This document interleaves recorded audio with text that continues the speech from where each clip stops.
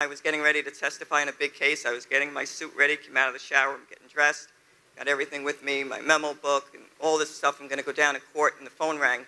And you know, when the phone rings at 6 o'clock, it's never good. And it was my mother. That was the morning of 9 11, saying, Your father passed in the night.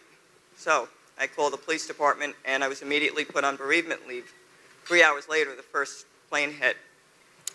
Four days later, after my bereavement leave, I show up for work and I was told, go back to the locker room. You don't need to wear a suit. You have blue jeans with you? Blue jeans, sweatshirt. Grab your partner. We went to Staten Island, what was called the landfill. And when we got to the landfill, we parked in this parking lot. Then they put us on a bus, a bunch of cops, all detectives. I realized then, I looked around, there was no uniform cops. We were all from the Detective Bureau. And we took this shuttle over to what really stunk. And as we pull up, the reeking smell of not only garbage but something else was in the air. I never will forget that aroma.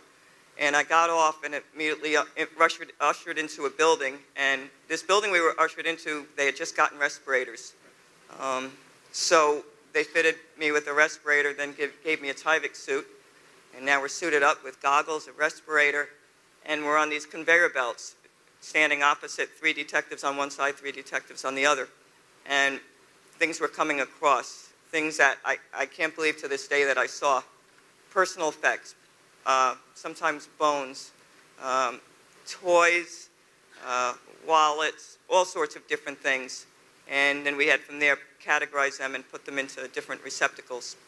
That went on, that was 12 hours. 12 hours on, 12 hours off. The next day, you were, first of all, let me go back a little bit. Thank God for the Salvation Army and the American Red Cross for serving us hot meals.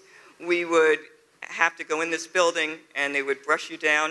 You take off your boots, take off your mask, put those down. You would eat, you come out, do the same thing in reverse. Now you get another Tyvek suit, you put your respirator back on, your goggles, your helmet, and you go back out onto the line. The next day you were set, sent to the morgue.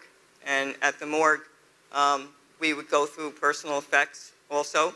Um, things would get quiet, we would get called to attention, we would form two lines, and they were no doubt bringing in the body of a firefighter, typically a firefighter, because we lost, uh, God rest them, 343 firefighters and 23 NYPD cops.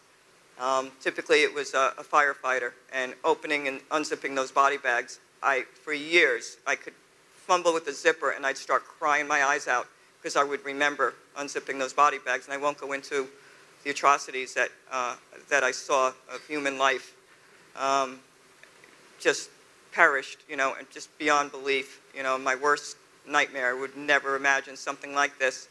And um, we were there for each other, though, and that was another 12-hour shift. And typically, you'd go with your partner. And um, then the next day, you were sent down to the pile, down to ground zero. And, uh, you know, we did something called the Bucket Brigade.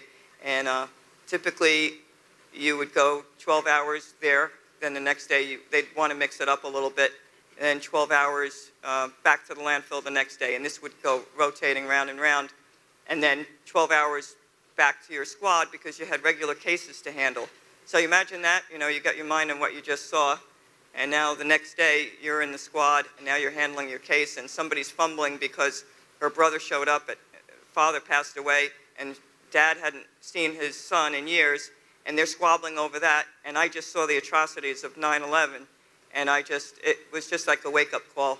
Um, what I do remember is people from all over the place, um, kids, uh, just police officers and firefighters from other places. We saw different patches.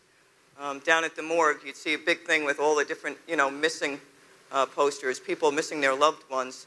And within that, we were giving uh, li little greeting cards from kids from New Jersey, kids from Harlem, kids from wherever, and little tokens of gifts. A gift that I still have in my powder room here in South Carolina. It's a little stool, and it has uh, it's red, white, and blue uh, that it was painted, and uh, different things like that. Um, we had pastors that came over and would just start making conversation.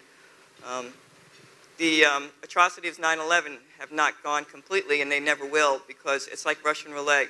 Every time you turn around, we're losing another uh, police officer or firefighter. or um, someone else that was just a civilian that happened to work in the area. We're losing these people, and you never know who's going to be next. Uh, we have a World Trade Center clinic that we all go to. I'm give myself up here. I'm, I'm five months overdue for the checkup because I feel great, and, and God has been good. Um, my dad was my hero, my angel, because if he didn't pass that morning, I was going to be in court, and the courthouse was right near 9/11. It was on Center Street. So my dad's my hero. He's my angel. But um, every day we keep learning of other police officers and firefighters that are dying, and um, we never know who it's going to affect. And I, like I said, uh, I shared that I put off my checkup because I feel good, and I don't want a doctor to tell me you're not good. So I, I kind of delay it. I'm good. I'm good. I'm healthy. I'm a cop. You know, I'm fine. I'm fine. And uh, that's the issue here. And uh, with that, uh, I'm just going to pass it along to Les. And uh, I thank you all for being here and uh, to listening to, to us. Thank you.